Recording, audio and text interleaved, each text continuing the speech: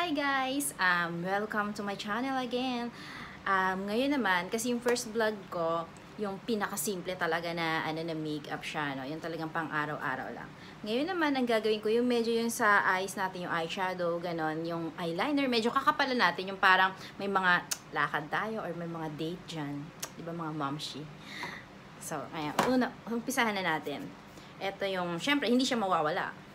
Kailangan talaga natin to. Siyempre, yung base natin sa mukha, hindi magbabago yan. Ang babaguhin lang natin yung ano natin yung eyeshadow, yung mga ganon. Pero yung ganito, kailangan talaga um, sunblock.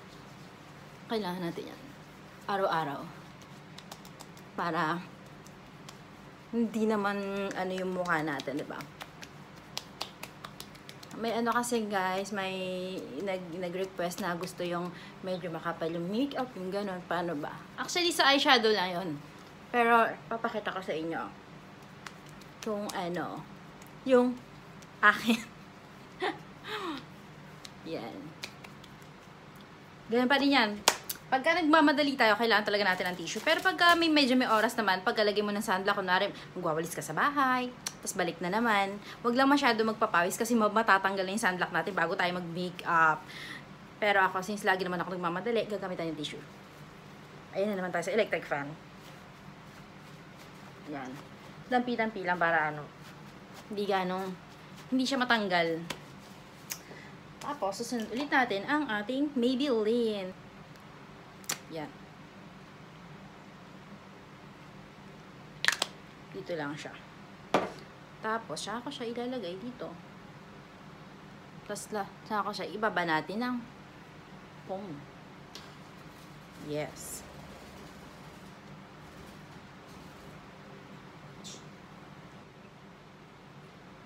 Yan, guys. Medyo lalagyan ko dito. Kakapal ako dito sa may eyebag ko kasi marami na ako napupunta sa eyebag eh.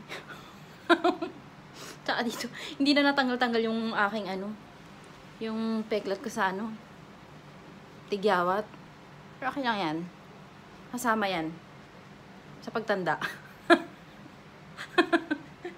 Tapos, ayan na. Medyo hintayin ulit natin siyang tumuyo ng konti. Yan. Tapos habang naghihintay tayo, kasi sayang naman yung oras, ika-card na natin yung ating pilik mata. Dahan-dahan lang ang card, baka matanggal lahat yan. Wala na nga pilik mata. Gusto naman yung ano ngayon, ba? Eh, pero kasi, nagpalagay ako nun minsan guys, isang beses lang. Kaya lang, pagka nalalaga siya, nanghihinayang ako parang pag nalalaga siya isa-isa, magkano to, magkano to, parang ganun. Kaya hindi na ako nagpapalagay, tiyaga na lang sa ganito, ba? Sinsilig ko naman mag-makeup eh, talagang pinagkakaanuhan ko ng oras. Pag maaga ang alis, maaga gising. Hmm, ba? Tapos yan. Nakasa, naka, naka, nakasanayan ko na talaga tong mag, ano ng tissue sa mukha. Kasi nga, parang hindi ako kontento pagka, pagka, ano, hindi ko siya dinadampian. Parang nandun pa rin kasi siya, kaya hindi ako makapag-makeup na maayos. And then, ito na naman siya, si Prima Vista ang aking powder. Pag umaalis, pag kami alis, aalis ng bahay. Pero pagka, ano lang, sa work lang, iba naman. Yung pinakamura talaga, as in. Yan. Naku, pasensya na kayo guys, ang ingay ng alaga akong ibon. Nakikita niyo guys, ano, parang, di ba, dampi dito, dampi doon yung ginagawa ko. Pero kasi konti lang yung nilalagay ko, kaya ano, kaya, ganun. Hindi siya, hindi, hindi talaga ako nagmamakapal ng, ano, ng foundation. Kasi ayoko siyang, ano, ang tawag doon. Parang lumutang. Lumutang ba tawag doon? Ba yun? Kaya, yan. Dito sa mata, sa dito sa kilay, para pag nagkilay hindi ganong madulas, maayos ang pagkilay natin mamaya. Kasi yun ang tututukan natin. Yan, tsaka dito sa malulong. Okay. After nyan, sa kilay na tayo mag-uumpisa. Siyempre guys, bago tayo mag-makeup, ako kasi bago ako maligo, chine-check ko. Minsan nga, minsan pag wala na oras, hindi ko na siya na-check. Yung mga tumutubong kilay, ganun. Inaahit ko siya. Minsan, tapos binubunot ko. Pag mahaba na, hinugupit ko na siya. Ganun. Ang haba, ang bilis kasi humaba ng kilay. Napapansin nyo ba yun? Ayan, ito na tayo. Ito na yung aking, yung eyebrow. Bagong labas, ba, ba labas, labas. Bagong, ba, ba, ewan kung bagong labas siya. Kasi ngayon ko lang siya nakita sa ano, sa, sa drugstore. Sa drugstore kasi ako bumibili. Siguro karamihan naman gano'n dito sa Japan. No? Bagong labas siya, kaya tinry ko siya kasi hindi daw siya, ano, ano ba sabi doon? 99% daw, hindi daw matatanggal doon sa, ano, sa, ah, hindi daw matatanggal pala sa pawis. Sa pa, pag pinagpawisan ka. At tinry ko, okay naman siya. Ito na ang kilay natin. Ngayon, ang gusto kong kilay ngayon, ito pa guys, ano, alam mo yon pag kunwari, di ba, ano, since putol yung kilay ko, gusto, um, nasa mood ko kung ano talaga yung, ano, yung, ano tawag doon, kung ano yung gusto kong ikilay ngayon, parang gusto ko medyo mataas, medyo mababa, kaya hindi talaga pare-pareho kilay ko. Nasa mood ko yon kung anong gusto kong, ano, ano yung mood ko ngayon. Pag gusto ko medyo mabait ako, medyo mababa, ganun.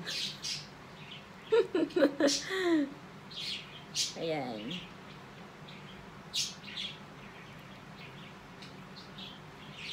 Tapos,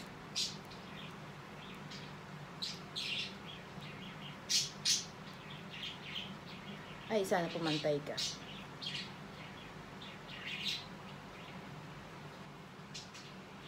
Ayan na guys. Tsura ko pagka nagme-makeup eh. Hindi ba nakakatakot? Ayan. Tapos medyo mataas siya dito. Buburahin ko siya. Diba? As in, konti lang yung bura niya. Tapos mamaya uli, mamaya, mamaya, mamaya, ano ba yun? mamaya uli natin ay titingnan kung pantay siya o hindi. I-ano muna natin siya sa loob. So, ito na naman yung ginagamit kong super mumurahin na eyebrow na powder.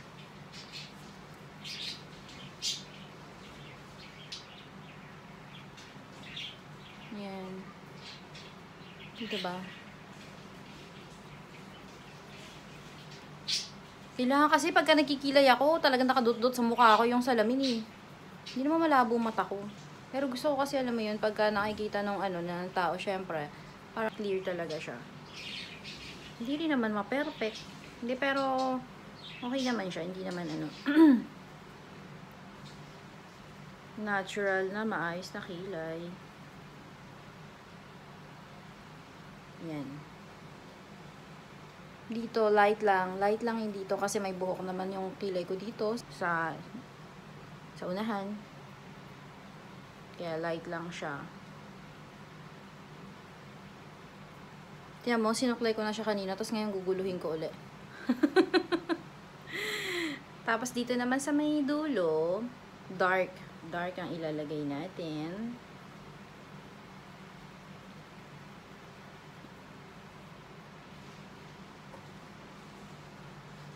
Kahit naman sino siguro, 'di ba, gusto na maayos na kilay kaya talagang nagko-concentrate talaga.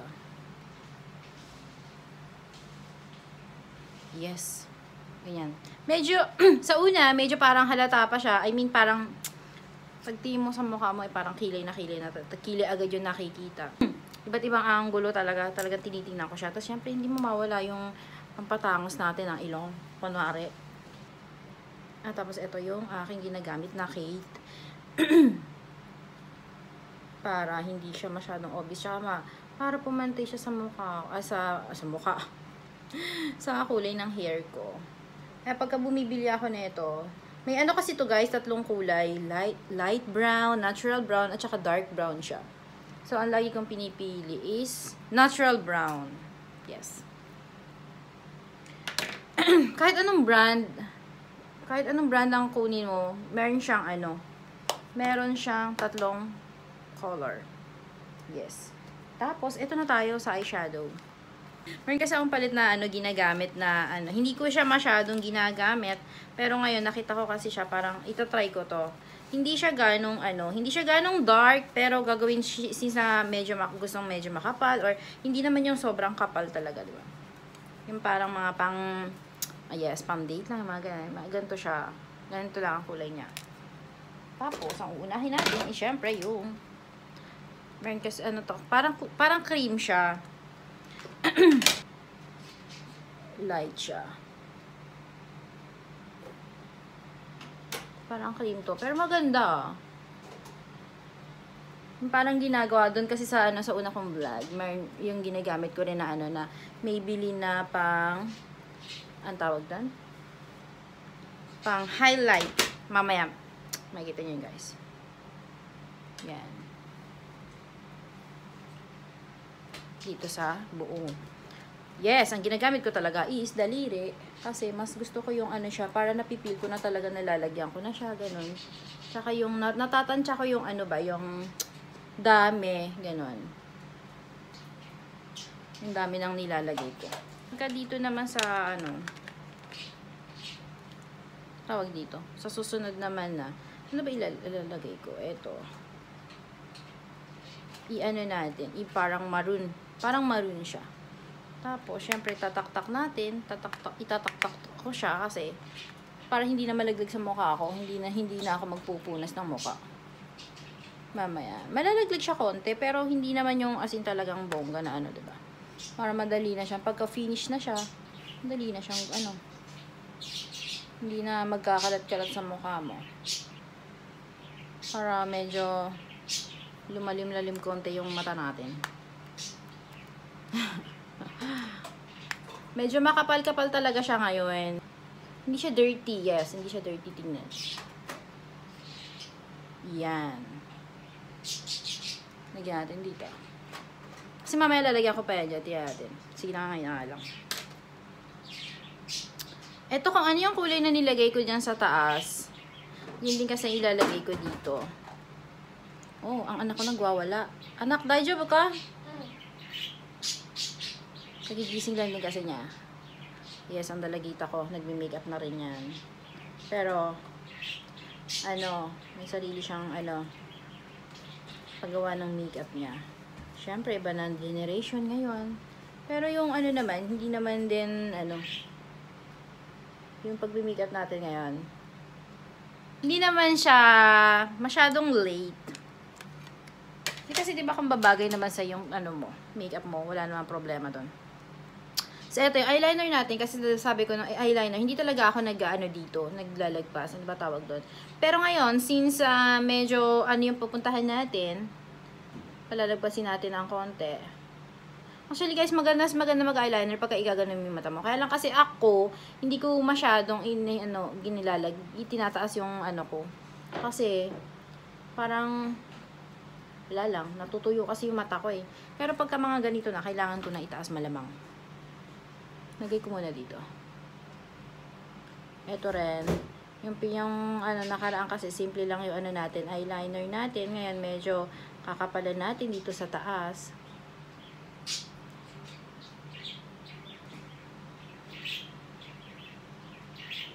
Ako kasi guys, hindi talaga ako maano mag-eyeliner. Magaling mag-eyeliner. Alam niyo ginagawa ko, gina inaanuhan ko na lang siya ng eyeshadow para hindi siya ano, hindi siya pangit tingnan ba. Siyempre, hindi naman natin mape-perfect ng isang beses yan, di ba? May pagkakamali talaga.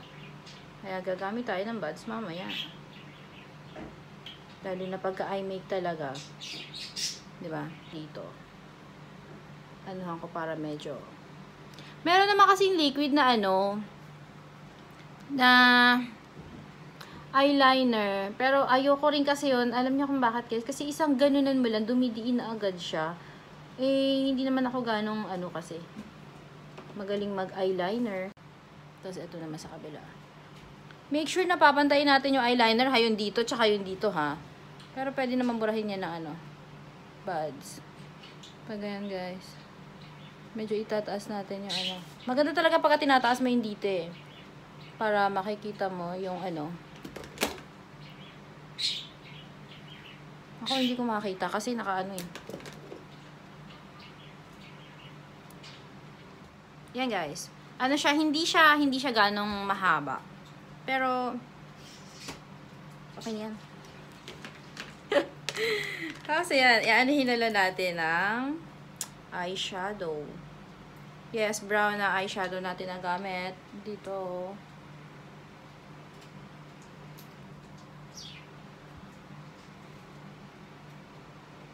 Yan. Tapos medyo itago-tago natin yung medyo hindi na lumagpas. Kaya burahin na natin ang buds. Yan. Pero, wag natin ganong kakapalan dito kasi baka mapagkamalang eye bag. And yung last natin na ilalagay sa ano, lagyan natin siya ng gradi gradation. Yung kulay gold. Dito lang siya guys, sa gitna lang. Gaganda natin. Para ano, ikakalat na natin mamaya. Dampi-dampi lang natin.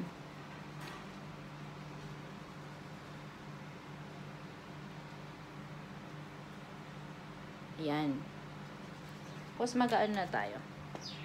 Siyempre, as usual lang Maybelline natin. Maybelline. Nang eyelashes. Medyo kakapalan natin yung eyelashes natin. Or else, mag-ano na lang kung gusto nyo magpatong ng ano, ng pilik mata. Ako kasi hindi ko magawa yun. Baka kasi biglang lumipad or hindi ko maayos ang dikit ko. Wag na lang. Ito na lang. Tsaka syempre, 'di ba, yung bang meron ka na pang araw-araw mong yung pang araw-araw mong ginagamit, eh pwede mo lang gamitin sa pang special mong sa pang special mong araw, ganon. Ano lang 'yon talaga, para-paraan lang tayo, guys. 'Di ba? Hindi mo na kailangan gumastos ng malaki. Dalawang patong natin. Pero, dalawang patong siya, pero hindi siya ano ah ayusin natin yung paglagay para hindi siya maduming tingnan kahit na dalawang patong. ba? Tapos dito rin sa baba. Since special day, lagyan natin 'yon.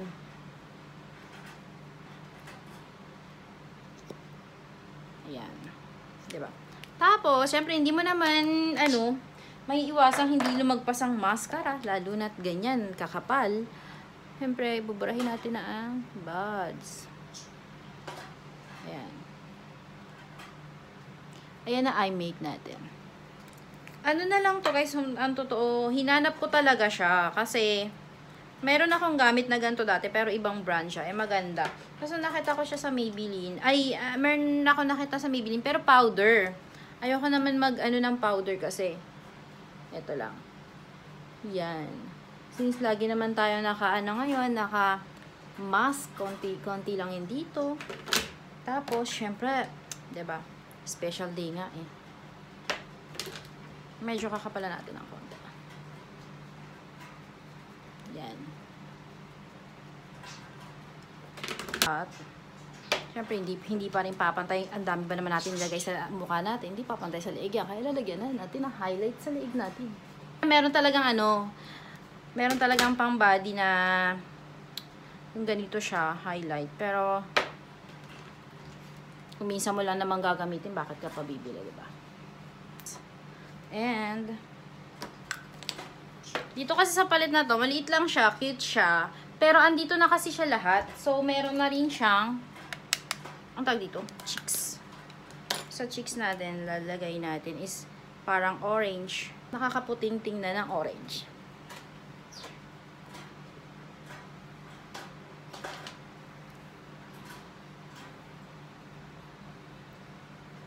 Ayan. Sa lipstick, hindi mawawala ang lip shiner kong Mensol. Bago pa magbakbak ang aking nga labi. Bago siya magdugo-dugo. Baka mapagkamalan lipstick. yung lipstick ko ngayon, ano siya, ida-dark ko siya. Ibigay ito sa akin ng, ano, sister ko. I mean, uh, sister-in-law ko. Ayan. Yan. Tapos i-check natin kung okay ba. Wala bang sumobrang ano ng makeup. Pagka may sumobra, syempre tatanggalin natin ang buds or brush. Hair na lang. Ayan. Tapos na guys, nag-iron na rin ako. Napansin nyo, kasi syempre, di ba, medyo makapal yung makeup natin. So, yung, pati yung style ng hair natin is medyo iba. Um, don't forget to subscribe me, guys. At saka salamat sa panonood. Um, sana subaybayan nyo. Kasi, mag-request na lang kayo kung anong gusto nyong like ng makeup, yung ganon. Yung talaga mura lang na makeup, gagawin natin yan. Kung paano gamitin siya ng maayos, ba? Hindi naman natin kailangan gumastos ng, ng malaki para ano, ba? Basta, nasa pag-apply talaga natin yan. Okay guys, bye. See you to my next vlog. Thank you. Love you. Bye.